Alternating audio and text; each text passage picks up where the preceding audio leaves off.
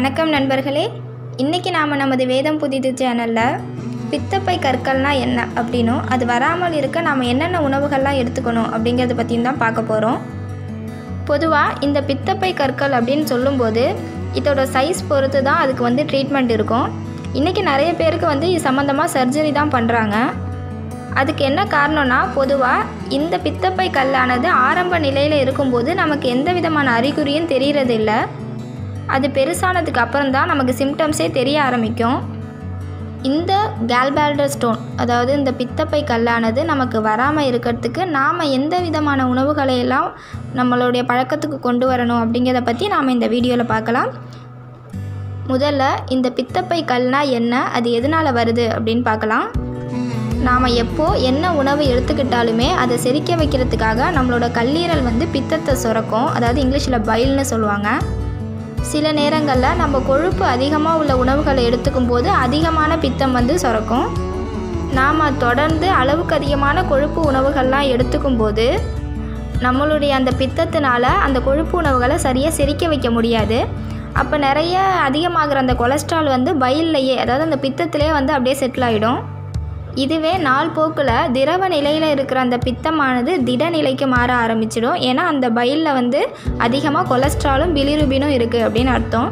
இதுதான் வந்து பித்தப்பையில் வந்து ஒரு கல்லா ஸ்டோன் மாதிரி ஃபார்மேஷன் ஆகுது.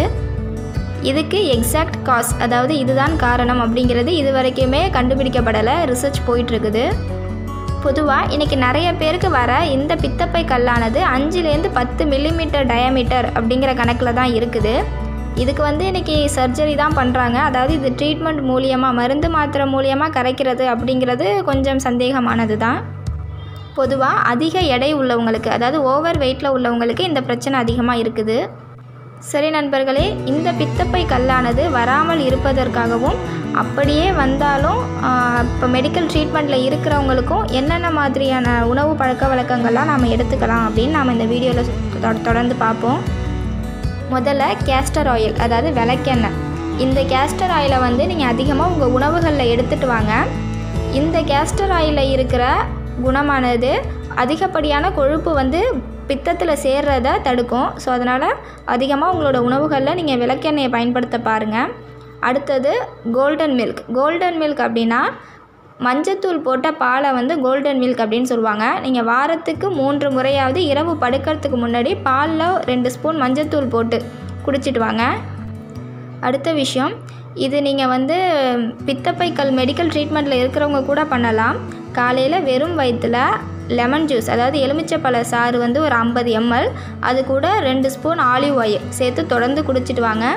இது வந்து ஒரு பித்தப்பை கல்லுக்கு ஒரு சிறந்த நிவாரணம் அளிக்கும் அப்படின்னு சொல்கிறாங்க அடுத்தது ஆப்பிள் இல்லைனா ஆப்பிள் ஜூஸ். வாரத்துக்கு இரண்டு முறையாவது இந்த ஆப்பிள் ஜூஸ் குடிச்சிட்டு வரணும். காரணம் இந்த ஆப்பிளில் வந்து மாலிக் ஆசிட் இருக்குது. இந்த மாலிக் ஆசிட் வந்து பித்தத்தை வந்து அதிகமாக உற்பத்தியாக வைக்கும். ஸோ அது மூலியமாக உடலில் உள்ள கொலஸ்ட்ரால்லாம் அது வந்து வெளியில் தள்ளிடும். இது ரொம்பவே முக்கியமானது. காலையில் வெறும் வயிற்றில் ஒன்றுலேருந்து ஒன்றரை லிட்டர் வரைக்கும் தண்ணி பிளென்டி ஆஃப் வாட்டர் ஸோ காலையில் வந்து ஒரு லிட்டர் வரைக்கும் தண்ணி குடிக்கிறது எல்லாருக்குமே அவசியமாகுது. இது மூலியமாக பல வியாதிகள் வந்து நம்ம உடலுக்கு வராமல் நாம் நம்மளை பார்த்துக்கலாம் இதே மாதிரி நீங்கள் காலையில் திரிஃபலா போட்ட தண்ணியையும் நீங்கள் குடிச்சிட்டு வரலாம். திரிஃபலா அப்படிங்கிறது ஒரு ஆயுர்வேத சித்த மருந்து. ஸோ இந்த திரிஃபலானா என்ன? அதை நாம் எப்படி எடுத்துக்கணும்? அது மூலியமாக நமக்கு என்னென்ன நோய்கள்லாம் நிவாரணமாகும் அப்படிங்கிறது சம்மந்தமாக நான் ஒரு வீடியோ போட்டிருக்கேன். அதை உங்களுக்கு டிஸ்கிரிப்ஷனில் கொடுக்குறேன்.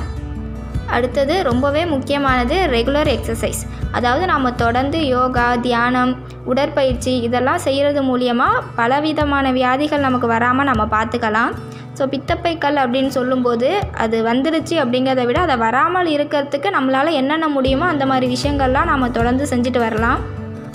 ஏன்னா நான் முதலே சொல்லியிருந்தேன் ஓவர் வெயிட் உள்ளவங்களுக்கு இந்த வியாதி வந்து நிறைய வரும் அப்படின்னு. ஸோ அப்படி உள்ளவங்க ரெகுலராக எக்ஸசைஸ் பண்ணுறது மூலயமா அவங்க வெயிட்டும் குறைஞ்சிடும். இந்த மாதிரி பித்தப்பைக்கல் இது சம்மந்தமான எந்த ஒரு பிரச்சனையும் அவங்களுக்கு வராமலும் இருக்கும். சரி நண்பர்களே இன்றைக்கி நம்ம நமது வேதம் புதிது சேனலில் பித்தப்பை கல்னா என்ன அது ஏன் வருது அதற்கு என்ன மாதிரியான உணவுகள்லாம் நாம் எடுத்துக்கணும் அப்படிங்கிறத பற்றி பார்த்தோம்.